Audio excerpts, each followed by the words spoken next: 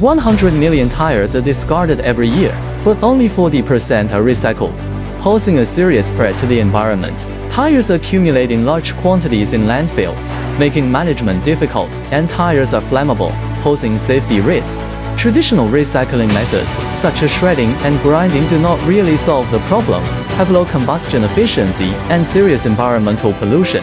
To this end, Beston Group has launched innovative pyrolysis technology to efficiently convert waste tires into pyrolysis oil, carbon black, steel wire, and syngas to achieve full utilization of resources. This technology includes tire pretreatment, pyrolysis, oil and gas separation, carbon black collection, and other steps, and the final exhaust emissions comply with EU standards. Carbon black and steel wire can be reused in tire manufacturing, Pyrolysis oil can be used as fuel, and syngas provides heat energy for the pyrolysis process, reducing fossil fuel consumption.